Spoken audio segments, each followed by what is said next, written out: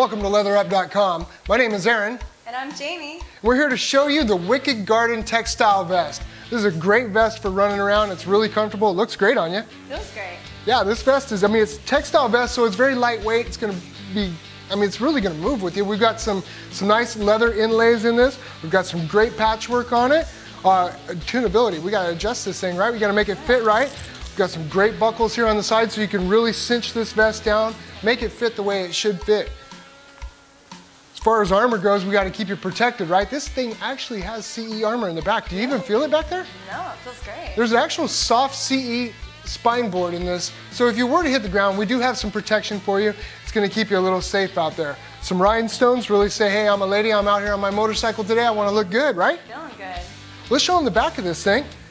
Back is a full textile with a little bit of leather across the top. Obviously, we have the speed and strength patch across the top.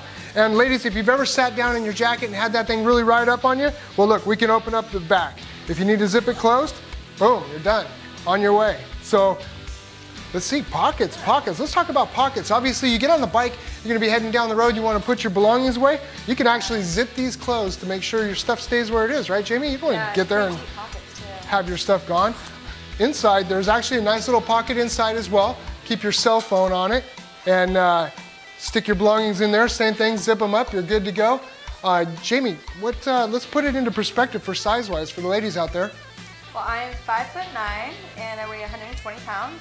And this size is a extra small and it fits very comfortably.